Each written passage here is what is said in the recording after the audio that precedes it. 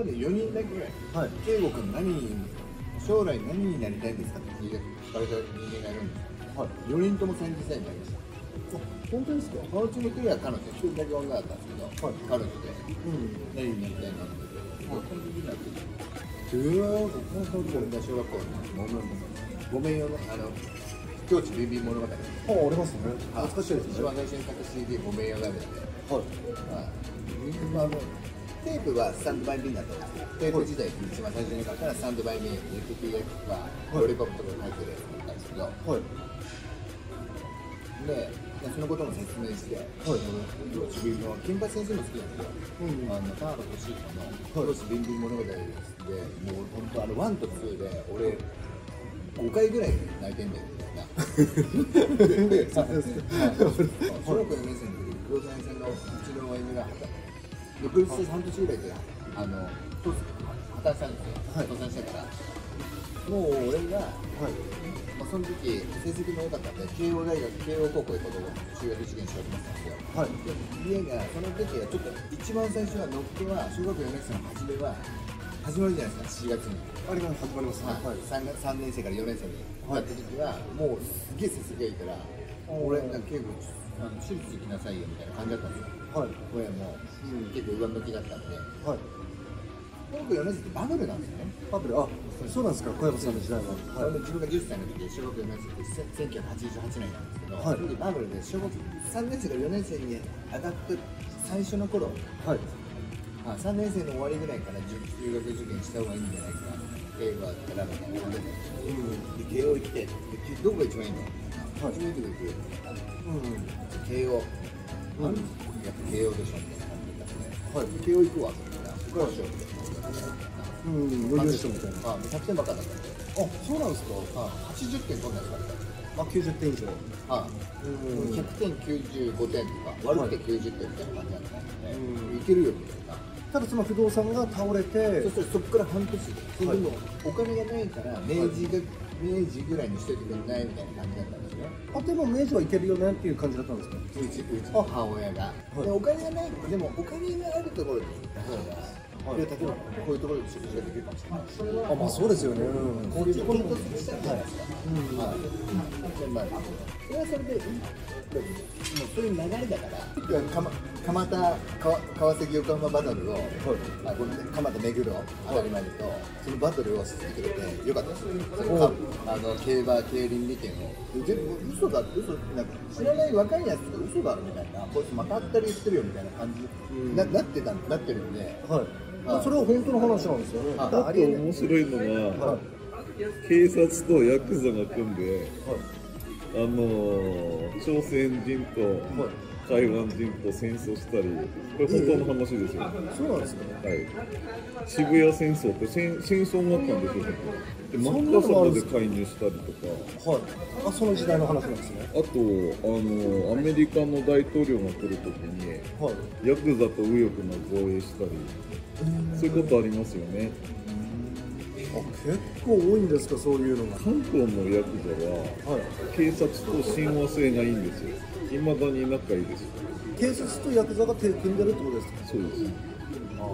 仲いいですよ。それどうなんでしょうねその構図。なんかまあ日本まあしょうがないですかね結託してるのは。でやっぱパチンコ屋さんとかもやってるじゃないですか。はい。なんで大丈夫なんだろうとか。パチンコ屋さんでこれいくらなんですかって景品これ渡してパチンコの台とかコイン渡してで2500円と大体1000円のやつじゃないですか。はい。やつなんです。これいくらなんですか？っといくらか言えないんですって。絶対店員見ますもんねそれ指導されてますよね。あそういうことなんですか？はいで関係でこれ で。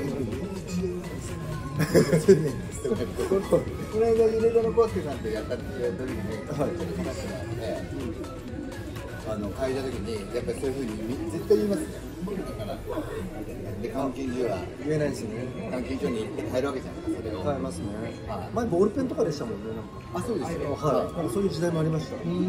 だから監禁自体は良くないってことなんですよね、はい。金に変えちゃダメだっていう。まあ、あれだから警察にお金払ってるっていうんだよ。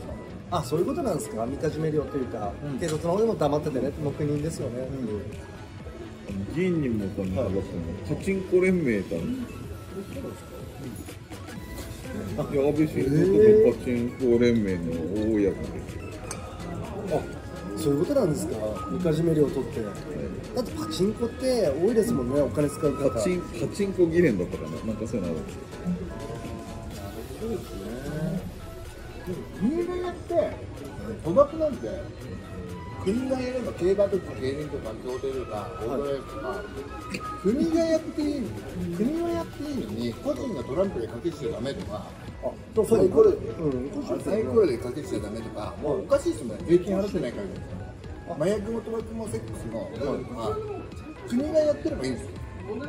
プラントとかで税金を納めるとかだけど自分でやっちゃダメみたいな。なんでなんでしょうね。だからそれずるいですよね。国だけ入れればいいんだよって私たちかませてね。っていうね国があってこの平和があるから、あのだからそこに税金を納めなさいってこのこあの法治国家でで道路も電気ガスの水道もあのその電話とか、あ交通とかも全部国が作ってできるできるんだろ平和があってできるんだろっていうことのそこからその礎が基本があってあなたは商売ができるんですよねっていうことだから税金を納めてくださいよっていうことじゃない。ですかこれじゃ中国と一緒ですよね。国が全部あれですもんね。なんて管理してるのと一緒ですもんね納めないと何もやらせないよっていうなんかその構図だと。はい、だから、だからその子供が王様みたいな感じじゃないですか。ん。本当そうですね。はいだけど、まあ個人レベルで言えば、働いてますし、あの税金も少なからず納めてるじゃないですか、その買い物するのにも。はい。タバコだってだって納めてますもんねはい、だから、そこはそそこをなんか覆そうともしてませんし、そうですよね。あのその辺のところはちょっとそんな少額ですし、自分たちが個人でトランプとか、あのサイコロとか花札とかで、まあ、花札は最近もうないと思うんですけど、まあそういうのはあの少額なんで、ちょっとそこは多め甘めに見てくださいみたいな感じのところはありますよね。なるほどですね。カジノとかだって本当は解禁すればいいなとは自分では思ったりしますもんね。もうちょっと合法にみんなやらせればいいんですよね。だから、そうすると危なくなくなっていいんだろう。よかったら深さんのチャンネルも何か。ミス FM で検索します。ミス FM ミス FM です。深さんもなんかミス FM やってるらしいのでこれぜひチャンネル登録よろしくお願いします。うち小山さんそろそろあの時間なので最後に自分のチャンネルのあれにも言ってください、コメントください藤井洋平さんの、はい、志が立つ話から知り合ったんですよね。まあ、志が立つ話はい。ということで藤井洋平さんの YouTube チャンネルで皆さんご登録およろしくお願いします4チャンネルです。ミス FM の深さん深山さんのはい。チャンネルのご登録よろしくお願いしますはい皆さん本日はどうもありがとうございましたありがとうございました。はい